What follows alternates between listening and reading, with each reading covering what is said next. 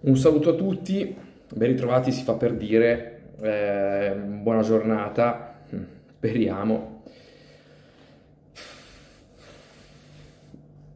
Non so, non so davvero da dove iniziare, non so, non so che cosa aggrapparmi, non so come non si riesca a uscire da questa crisi nera e profonda, non so davvero che cosa salvare sono deluso, amareggiato, arrabbiato, mm, incredulo.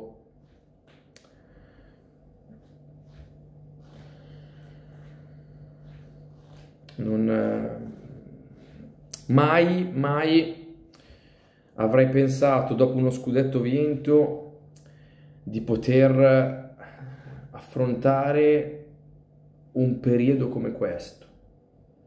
Mai avrei pensato di vivere un'altra umiliazione dopo quella di Bergamo con questi ragazzi, perché ieri il Milan, calcisticamente parlando, è stato umiliato. Squadra, ancora una volta, senza anima, senza amor proprio, senza cuore, senza cattiveria, senza attaccamento alla maglia, senza spirito, senza identità, senza gruppo. L'assenza del gruppo è quello che purtroppo più fa riflettere. Quel gruppo che lo scorso anno ci aveva fatto vincere perché eravamo più squadra delle altre, non perché eravamo più forti, eravamo più squadra delle altre. Mai avrei pensato che si potesse rovinare tutto in pochi mesi. Quando vinci tu, il gruppo diventa più maturo, devi alzare il livello, invece noi ci siamo sciolti come la neve al sole.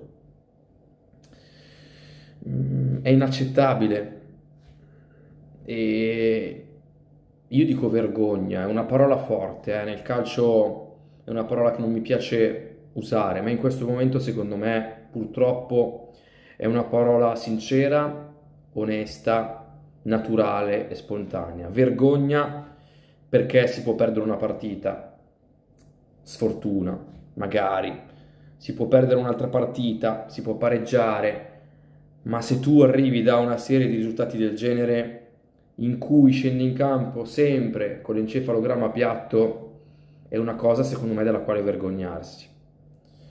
2-2 con la Roma, Milan Torino 0-1 con un uomo in più quando ti aspetti la reazione dopo i due gol presi con la Roma.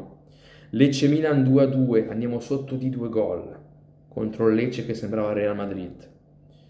Inter Milan 3-0. Lazio Milan 4-0. Stiamo facendo sempre, sempre peggio. Abbiamo chiuso gli ultimi tre primi tempi 2-0 per l'avversario. E significa che bisogna vergognarsi perché non c'è amore proprio, non c'è passione, non c'è reazione, non c'è cuore, senza il cuore non vai da nessuna parte. Sono davvero molto deluso. Non ha senso neanche fare le pagelle oggi. Verrebbe da dire che c'è sicuramente un problema portiere.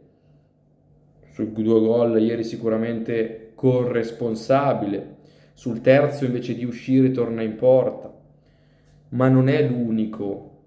Calabria ieri si è fatto umiliare da Zaccagni Calulu male, Tomori irriconoscibile, Dest non ha fatto grandi cose, eh, Benasser e Tonali, ieri Tonali ha fatto tanti errori, Benasser io vedo che quei due corrono per 10 ma non possono correre per 10.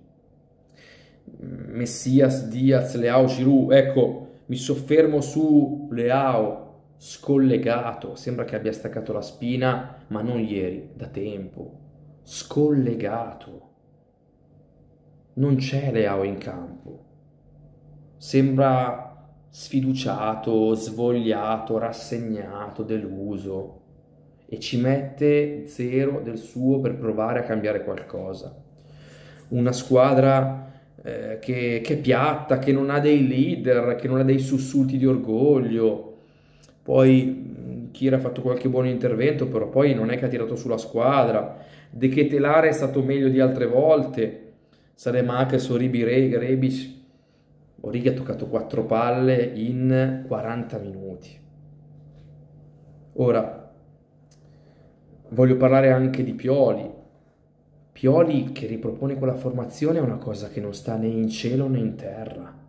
Come fai a riproporre la formazione con cui hai perso male il derby?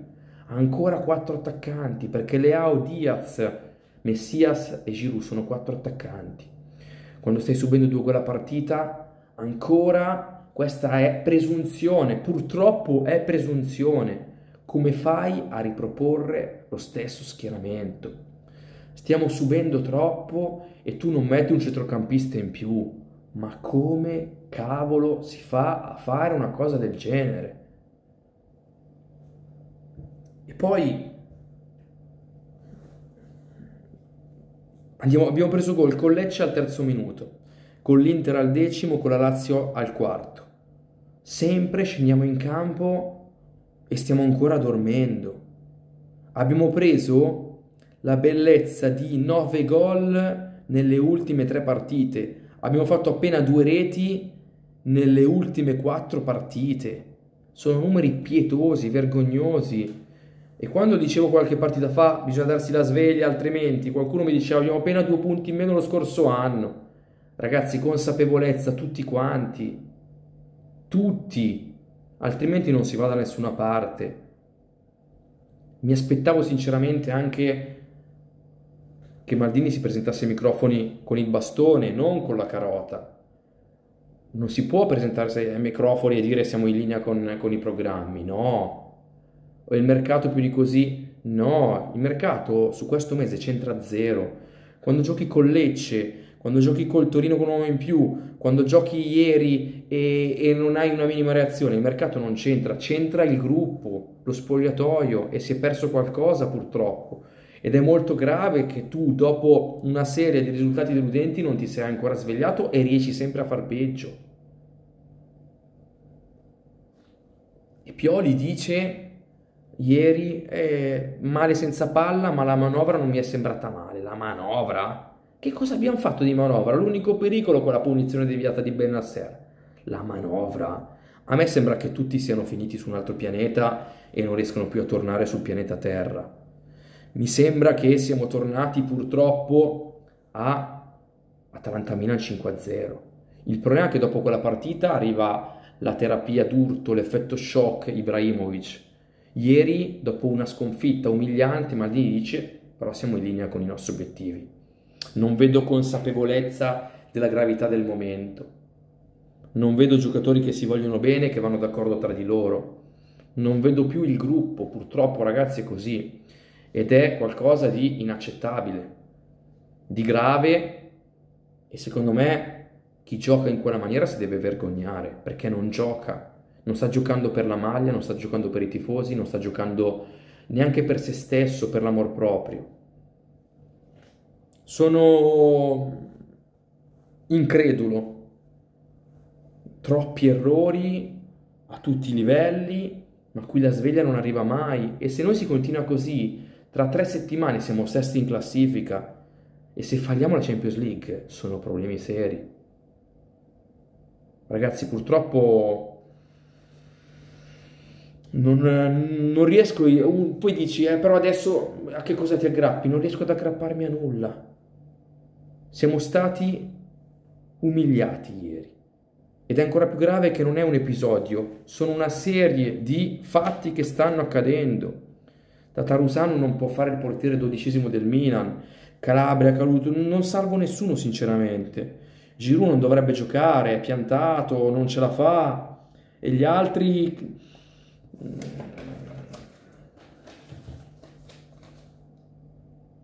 Non so cosa dirvi ragazzi. non so davvero cosa dirvi e...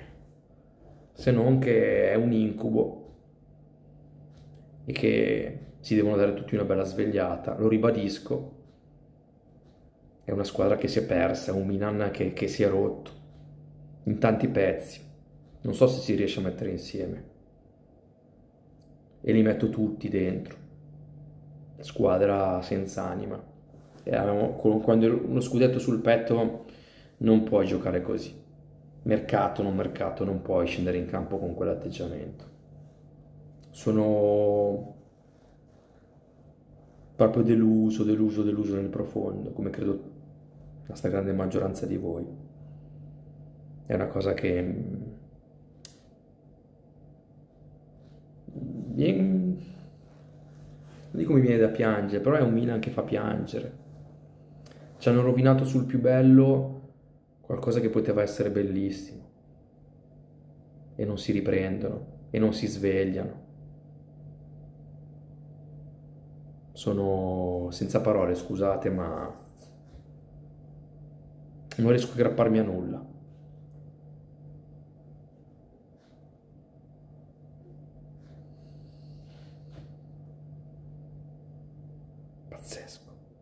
Dico solo che è una vergogna e finisco qui. Ci vediamo più tardi, commentate qui sotto se vi va.